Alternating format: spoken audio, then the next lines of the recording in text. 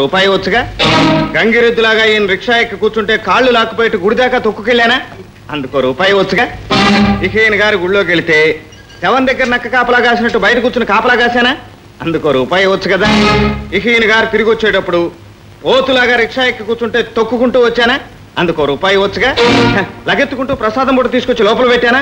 ఇంతసేపు మర్యాదగా నుంచున్నానా? అందుకో రూపాయి వచ్చుగా? రూపాయల గురించి రూల్స్ మాట్లాడుతున్నావు? నీకు ఐదు కావాలన్నమాట. కాదండి మీరు ఇవ్వాలన్నమాట. రే గోవిందు! అయ్యా. ఇతనికి ఒక ఐదు ఇచ్చి పంపించు. సరదా పడి ఇంకెక్కువ ఇచ్చేకి రోయ్. లెక్క ప్రకారం ఐదే.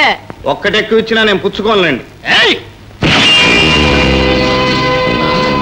నేను ఎవరిని ఎన్ని అడిగినా నేను ఇచ్చేది మాత్రం ఎప్పుడూ ఒక్కటే. సాధారణంగా రెండోది ఇచ్చే అవసరం రాదు. మీకు కూడా ఒకటి ఇమ్మంటారు ఐదు ఇచ్చేయి.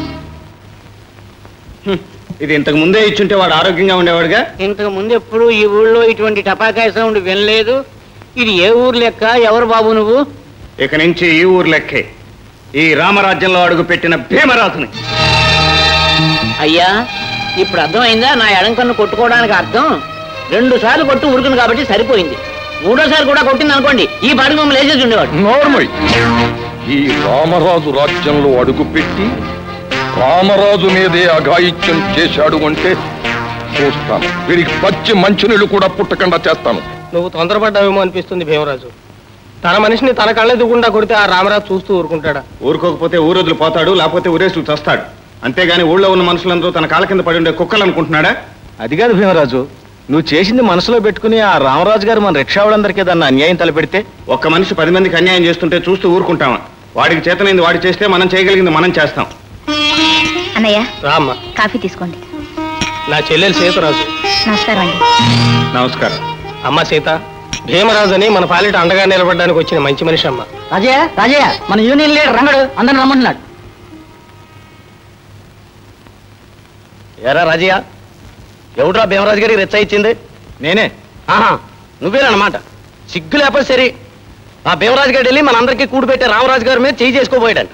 ఇప్పుడు ఆ బాబు ఎర్రి కోపం మీద ఉన్నాడు. ఇక మీద రెచ్చాలు ఇవ్వనంతనే. ఏం చేస్తారు? యాదవలు. ఊరు పేరు లేనోడికి రెచ్చాలు ఇచ్చి ఎదవ పని చేస్తారు. సరే నేను ఒకటి చెప్తాను వినండి. ఏంటది? ఉన్న పళంగా భీమరాజు గారిని ఊరి నుంచి తగిలేయండి. ఆ రామరాజు బాబు కాళ్ళ మీద పడి ఎలాగోలా రిచ్చాలు ఇప్పించే ఏర్పాటు నేను చేస్తాను. కాళ్ళే ఇప్పటిదాకా నువ్వు వీళ్ళకి చేసిన ఏర్పాటు. ఎక్కువ అద్దె తీసుకుని రిక్షాలు ఇస్తూ ఏదో పుణ్యానికి ఇస్తున్నట్టుగా రామరాజు ప్రవర్తించడం దానికి నీలాంటి వాళ్ళు వస్తాసు పలకటం. నీతో మాట్లాడడం అనవసరం. రే నేను చెప్పే మాట వాళ్ళే నేను లీడర్గా ఉన్న యూనియన్లో ఉన్నట్టు లెక్క. నీలాంటి లీడర్ యూనియన్లో లేకపోవడమే మంచిది. యూనియన్లో లేకపోతే రామరాజు బాబు తొక్కడానికి రెచ్చాలు ఇవ్వడం ఆ రామరాజు రిక్షా లేకపోతే ఎవడు ఇక్కడ తినలేక చావాళ్ళే సరే. రేయ్ ఊరు పేరు లేని ఆడి మాట అంటారు మీ ఊళ్ళోనే ఉంటూ మీ ఊడని పెంచుకుని నా మాటిని నా వెనకాల వస్తారో. తెలుసుకోండి మీ ఇష్టం. భీమరాజు ఖచ్చితంగా ఈ రంగడేళ్ళు ఇప్పుడు జరిగిన సంగతి అంతా రామరాజుకి చెప్పేస్తాడు. దాంతో వాడు మాకు రిచ్చాలు ఇవ్వడం మానేస్తాడు. ఏం పర్వాలేదు. ఆ రామరాజు నేలలో బానిసలుగా బతకవలసిన అవసరం లేదు. ప్రభుత్వ సహకారంతో అప్పు చేసి అందరం సొంత రిక్షాలే కొనుక్కుందాం. అవును. ఇప్పుడు మీరు రామరాజు కట్టే అద్దె బ్యాంకులో కడితే ఏడాది తిరగకుండా రిక్షాలన్నీ మీ సొంతం అవుతాయి. అప్పుడు ఎవరికి తలవంచవలసిన అవసరం లేదు. అలాగే బాబు రండి చెప్తాను. బ్యాంకు నుంచి రుణాలు ఇప్పించడానికి నాకేం అభ్యంతరం లేదు. కాకపోతే ఒకటి మాకు హామీ కావాలి. హామీయా? అంటే? స్థిరచరాస్తులున్న పెద్ద మనుషులు ఎవరైనా మీ తరపున హామీగా సంతకాలు పెడితే చాలు. ఆ ఆస్తిన పెద్ద మనుషులు వీళ్ళ తరపున ఎవరు సంతకం చేస్తారండి? ఒకసారి ఆలోచించండి. సారీ. హామీ లేకుండా డబ్బు ఇవ్వడానికి రూల్స్ ఒప్పుకో. కైలాసం అది పరిస్థితి. అడ్డమైన వాడికి రిక్షా కొనుక్కోమని కారు కొనుక్కోమని అప్పిచ్చేస్తుంది బ్యాంకు. ఈ లెక్కలేని వాళ్ళందరికీ అప్పులు ఇవ్వడం మొదలెడితే నేను కూడా అప్పు చేసి రెండు మహానగరాలు కొని ఉండేవాడిని ఎవడ మాటో నమ్ముకుని మేడ కోసమని ఉన్న నీడకి నిప్పెట్టుకుంటే ఇదివేలాగే రోడ్డు మీద పడతారు మనుషులని. ఎప్పటికైనా వీళ్ళకి తెలిసి వస్తుందిలే. ఏ మీ అధికారంలోంచి చేతుల్లోంచి మనుషులు జారిపోతున్నారని భయం వేస్తుందా నోటికి వచ్చినట్టు కూస్తున్నారు? మా కూతల మాటకేం లే దేశ నాయకుడిలాగా నువ్వు కూసిన కూతల మాట ఏంటి? నువ్వు వీళ్ళకి ఎలాగో రిక్షాలు ఇప్పించలేవు కానీ ఆ చందాలు వసూలు చేసి చెప్పాకర్రా కొని అడుక్కునేదంటారు ఆ రేటు కూడా పెరిగిపోయిందండి మీరు సాయం చేయకపోయినంత మాత్రాన ఊరంతా గొడ్డిపోయింది అనుకోకండి ఈ ఊళ్ళో ఎవరో ఒకరు వీళ్ళకి హామీ ఇచ్చి తీరుతారు. ఇస్తారు ఇస్తారు. ఈ ఊళ్ళో ఈ రామరాజు మాట కాదని మీకు ఎవడు సాయం చేస్తాడో నేను చూస్తాను. మీరు హామీ ఇవ్వటం వల్ల ఎంతమంది బ్రతుకులకో దారి చూపెట్టిన వాళ్ళు అవుతారు? నువ్వు చెప్పేది నిజమేనయ్యా. నేను బయలుదేరి వచ్చి అందరికీ దారి చూపించాననుకో. ఆ విషయం రామరాజుకు తెలిస్తే నా కొంప గోదావరి పాలవుతుంది. నిమిషం కాదు. గంటైనా రోజైనా వారమైనా నెలైనా సరే నువ్వు క్షమించానంటే తప్ప నీ కాళ్ళు వదిలిపెట్టను. ఏమిటి అర్థం లేకుండా వదలమంటుంటే? క్షమించాను ఒక మాటను వదిలేస్తాను. అయ్యో రామా క్షమించాను. ముందు వదులు. ఆహా. నా దేవత క్షమాభిక్ష దొరికింది. ఈ భక్తుడికి చాలు. ఏమయ్యా? ఆడదాని కాళ్ళు పట్టుకోవడానికి నీకు సిగ్గులేదు అలాంటిదేం లేదు. ఇంత అందమైన కాళ్ళు పట్టుకోవడానికి సిగ్గుపడడం ఎందుకు? గర్వపడాలి. ఛీ! జ్యోతి జ్యోతి జ్యోతి నీతో ఒక నిమిషం మాట్లాడాలి ఆగవా? అడ్డమైన వాళ్ళ కోసం ఆగేటంత తీరుబడలేదు నాకు. అదిగో మళ్ళీ. నువ్వు ఆగి నేను చెప్పేది పూర్తిగా వింటానంటే తప్ప వదిలిపెట్టను. ఎవరైనా చూస్తే నవ్వుతారని సిగ్గులేదు నీకు? నవ్వితే నవ్వని నాకేం సిగ్గులేదు అదేదో త్వరగా చెప్పాడు.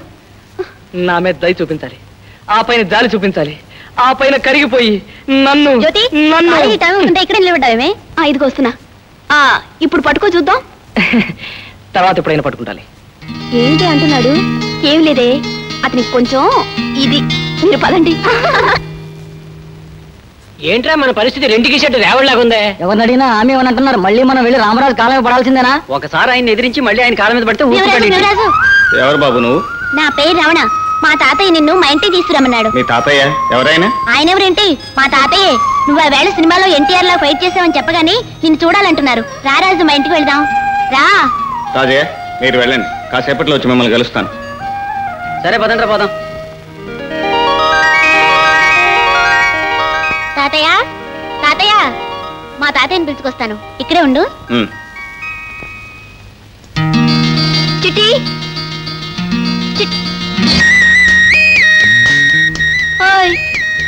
ఇక్కడ తయారయ్యేవేంటి? నిన్ను చూడాలనిపించి అసలు నువ్వు మా ఇంటికి ఎందుకు వచ్చావు? రమ్మని పిలిస్తే వచ్చాను. ఎవరు రమ్మన్నారు? నీ అబ్బ అనుకుంటాను. ఇదిగో మాటలు జాగ్రత్తగా రాని. నాన్నా! నాన్నా! నాన్నా! రండి.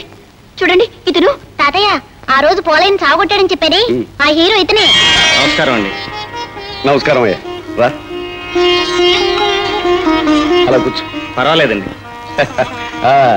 ఇంతకాలానికి మా ఊళ్ళోకి ఒక మగాడనే వాడు వచ్చాడనమాట అదేమిటి బాబు గారు? ఇంతకాలం మీ ఊళ్ళో ఉన్నది ఆడవాళ్ళేనంటారా? అలా అని కదయ్యా. అవును నీ పేరు భీమరాజు కదా? అన్యాయాన్ని ఎదిరించలేని వాళ్ళు తప్పును తప్పని చెప్పలేని వాళ్ళు భయంతో తలంచు తిరిగే వాళ్ళు ఆడవాళ్ళ కింద లెక్కనయ్యా. ఆ రామరాజుని వాళ్ళ మనుషుల్ని చూసి భయపడ్డమే గాని వాళ్ళని భయపెట్టే వాళ్ళు ఎవరూ లేరు. ఇంతకాలం నువ్వు వచ్చావు నాకు చాలా సంతోషంగా ఉంది. నీలాంటి వాడిని ముందు మా ఇంట్లో వాళ్ళందరికీ పరిచయం చేయాలి. రే జానకిరావుడు అమ్మాయి సుందరే. రే శేఖర్! సువచ్చలా ఏమిటండి? ఇంటికేదో పండగ వచ్చినట్టు అలా కేకలేస్తున్నారు? మన ఇంటికి పండగ రావటం కాదే మన ఊరికే పండగ వచ్చింది ఇతను రామరాజు మనిషిని చావగొట్టాడు. పేరు భీమరాజు. ఏమిటి? రామరాజు మనిషిని కొట్టాడా? నేను నమ్మను. మళ్ళీ వాడిని నీ ముందుకు తీసుకొచ్చి కొట్టాలంటావా నమ్మటానికి? ఏమిటి? ఎవరు ఎవరిని కొట్టారు? నిన్ను నన్ను ఎవ్వరూ కొట్టలేదు కానీ నువ్వు ఆ ఫైల్ చూసుకో. నా పెద్ద కొడుకు. చూడు భీమరాజు నువ్వు రామరాజుకు శత్రువు అంటే మా కుటుంబానికి మిత్రుడివి. నీకు ఎప్పుడు ఎలాంటి సాయం కావాలన్నా దర్జాగా వచ్చి నన్ను అడగొచ్చు. నా దూర కంత లేదు మెడకో డోలని మనకే లేక చేస్తుంటే దానాలు ధర్మాలు. అవునవును అది కూడా కొంచెం ఆలోచించాల్సిన విషయం. నేనేదో డబ్బు సాయం అడుగుతానని మీరే మెంగపెట్టుకోవద్దు ఇప్పుడు నాకు కావాల్సింది మనిషి సాయం మాట సాయం మాత్రమే.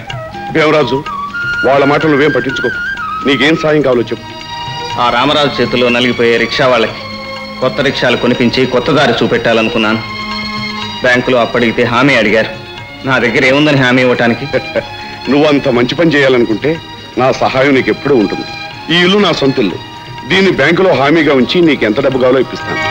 ఏమండి? మరి బుద్ధావతారాలాగా ఉండటం కాదు. ఆయన ఏమంటున్నాడో వింటున్నారా? ఏమంటున్నాడు? అయ్యో ఉన్న ఇల్లు కాస్త ఈ ఊళ్ళో ఎవరికో హామీగా పెడతానంటున్నారు. వాళ్ళు కనుక ఆ డబ్బు తీర్చకపోతే మన ఏ చెట్ల కిందకో పోయి బతకాల్సిందే. అవునవును అది కూడా కాస్త ఆలోచించాల్సిందే. చెట్ల కింద అంత సౌకర్యంగా ఉండదేమో నాన్న. మీకంత గతి పట్టించడండి భీమరాజు. ఏమండి? మనం ఏం తిన్నామో ఎవరూ చెప్పుకోరు. ఏం సాయం చేశామో అది పది మంది చెప్పుకుంటారు. పాపం మీరు అతనికి సాయం చేయండి. అవును తాతయ్య. అవును నాన్న. బాబు గారు మీరు నాకు ఈ సాయం చేస్తే ఆ రిక్షా వాళ్ళ అప్పు తీర్చే వరకు వాళ్ళకి హామీగా నేను మీ ఇంట్లోనే ఉండి చేయగలిగిన పనులన్నీ చేస్తాను. కాకపోతే ఒక షరతు. ఏమిటది? చేయటానికి శక్తి ఉండి బద్దకించే వాళ్ళకి మాత్రం ఏ పని చేయను. చేయటానికి శక్తి లేని వాళ్ళకి మాత్రం అన్ని పనులు చేస్తాను. భలేవాడవయ్యా. నీ మాట వింటుంటే సంతోషంగా ఉంది. కాకపోతే నీతో ఊరికే పనులు చేయించుకోవడానికి మాకు మాత్రం మనసులో ఒప్పుతుందయ్యా. ఊరికినే చేయించుకోవడం ఎందుకు? రెండు పూట్ల తిండి పెట్టండి. నాకు అంతే చాలు ఇక మీరు త్వరగా బయలుదేరి బ్యాంక్ వచ్చి డబ్బు ఇప్పించండి. చూడు బాబు వెళ్ళి తాతయ్య కండువా చేతికరా బట్రా నీ పేరేమిటి? శేఖరా. చూడు వెళ్ళి ఇంటికి దస్తావేజులు బట్రా